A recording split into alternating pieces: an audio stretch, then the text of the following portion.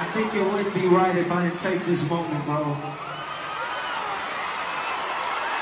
to publicly apologize to you, man. I did some up shit to my brother.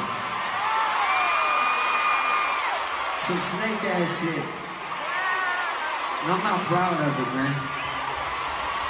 So I want to sit here humbly and sincerely apologize for you, to you for any turmoil or dysfunction I caused between you and your family, bro.